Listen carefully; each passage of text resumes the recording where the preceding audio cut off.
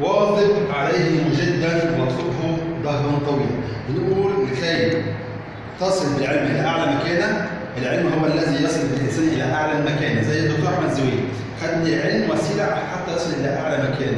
زي الدكتور مجدي يعقوب تعلم بقى دكتور طبيب عالمي في جراحه طب طب الأطفال. لغاية لما وصل بالعلم للدرجه العالية الرفيعة الدرجه العاليه المكانه العاليه طب حتى يصل الإنسان للدرجه العالية يجب عليه أن يفهم كم شيء.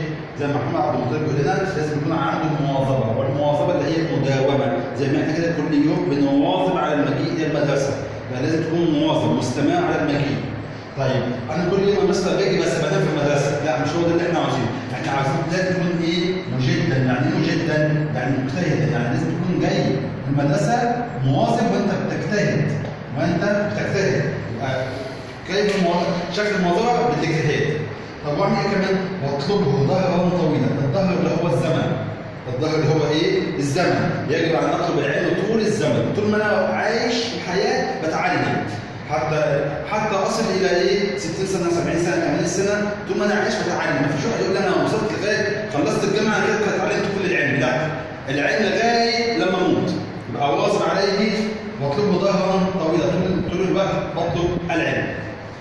البيت رقم ثلاثة قم بالعلوم ولوعا، ولوعا يعني؟ ينادى في المعاني شديد التعلق بها، شديد التعلق بها، يجب أن أكون متعلق بالعلم، يعني في بعض الناس يقول لي مستر أنا بحب العلوم بس ما بحبش الدراسات. بحب مثلا العربي بس ما بحبش الإنجليزي، لا ما ينفعش كده، لأن العربي ده علم، الدراسات ده علم، العلوم ده علم، لازم أكون متعلق بكل العلوم، لازم أكون متعلق بها وشديد الحرص عليها وشديد الحب بها. يجب احبها حبا عظيما يبقى لازم اكون مواظب لازم لازم اتعلم طول الوقت طول طول الحياة. لازم أكون متعلق متعلق وشديد الحرص على طلب العلم. طب لما أكون شديد الحرص على يحصل إيه؟ سوف ترقى يعني هرتفع مكانك. المقام الجليل يعني المكان العالي.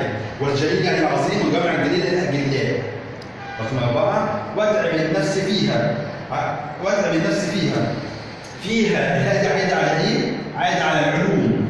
يعني اتعب نفسي في كل العلوم. يعني أقسم وقتي. زي مثلا بذاكر خمس ساعات في اليوم يبقى ساعة للغة العربية ساعة للغة الإنجليزية ساعة للعلوم ساعة للدراسات ساعة للكيمياء. اواظب اتعب نفسي في كل العلوم. ما أقعدش خمس ساعات مثلا في الإنجليزي. لا ده أنا اواظب وأتعلم كل العلوم. واتعب نفسي فيها يعني في كل العلوم. طب لما أتعب نفسي؟ أنا لازم أتعب نفسي؟ أيوه. هو الحياة تعب. والعلم لازم تحصل عليه بتعب طب لما اتعب نفسي أحصل على إيه طلقة طلقة يعني إيه؟ يعني تجد لكن طاقه يعني ترتفع.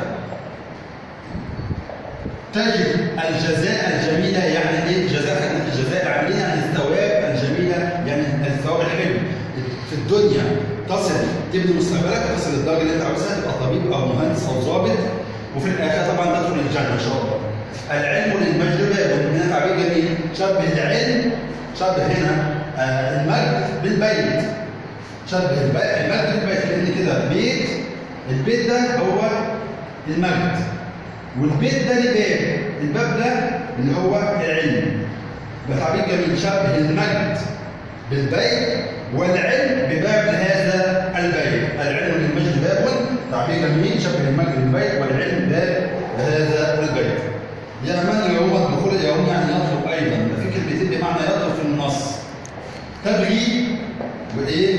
ويوم الدخول اللي عاوز يصل للمجد اللي عايز يدخل للبيت اللي هو مسميه البيت اللي هو بيسميه المجد لازم يدخل من الباب. الباب ده اللي هو الايه العلم. يعني حتى تصل للمجد يجب عليك أن تدخل من باب العلم. يعني يجب عليك أن تتعلم.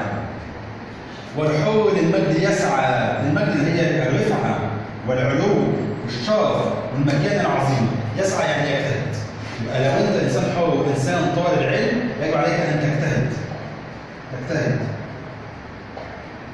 ويسهر الليل طولا يسهر الليل طولا ده بيدل على إيه؟ على طول الفترة الزمنية للاجتهاد ويدل كمان على التعب. اللي هو طلب منك فوق قال لك اتعب النفس فيها. يبقى التعب بيتطلب منك تسهر الليالي مش يجي الساعة 9 بالليل مثلا تطلع تنام على طول. ماشي؟ أو تقعد على الموبايل بالساعة والساعتين. لازم تسهر ولازم تجتهد ولازم تتعب نفسك ولازم تكون ولوع على طلب العلم ولازم تواظب عليه كل الحاجات دي الطريق حتى تصل للمكان العالي أخي بيت لولا العلا ما سهرنا السهر ده تعب. فبيقول لك لولا العلا اللي هو يعني لولا المجد لولا المجد لولا إن أنا بطلب المجد ما كنتش أسهر طول الليل. ما سهرنا بالجد مش سهران بلعب مش سهران على الفيسبوك ولا سهران على آه، الواتساب ولا سهران على النت. لا ده أنا ده أنا سهران بالجد بتعب وبجد واجتهد ليلا طويلا لولا سهران بالجد بالتعب ليلا طويلا طبعا النص نص إيه؟ سهل إن شاء الله. اول أول فكرة رئيسية أو أول فكرة رئيسه العلم طريق المجد. يقول لنا ان كنت ترجم معي فالعلم اهدى سبيلك العلم طريق المجد. ثاني فكرة العلم يرفع شأن الإنسان. آخر فكرة وهو ده اللي بطلبه منكم احرص على طلب العلم. النص إن شاء الله نص آه، حفظ هنحفظ النص ونحفظ معاني الكلمات ومواطن الجمال واشوفكم على خير والسلام عليكم ورحمة الله وبركاته.